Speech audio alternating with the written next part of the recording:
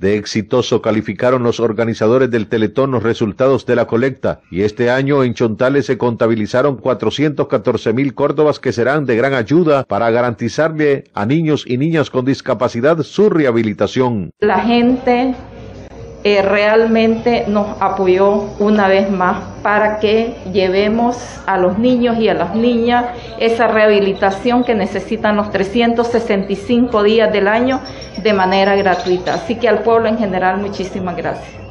Por su parte, Monseñor Marcial Humberto Guzmán Zaballos, obispo de la diócesis de Huigalpa, valoró al Teletón como una obra de Dios porque lo recaudado es para la niñez con discapacidad de la región. Es una obra buena porque estos niños siempre son buenos, estos niños son especiales que siempre dan ternura y amor y requieren paciencia y requieren también dones especiales. Anthony Barrante, originario de San Pedro del Óvago, es integrante del voluntariado de la UNICE de Huigalpa y desinteresadamente se unió a la colecta del Teletón. Los niños que necesitan de nosotros para poder apoyar esta causa, tenemos que hacer una buena organización con los profesores, los estudiantes, para seguir con esto.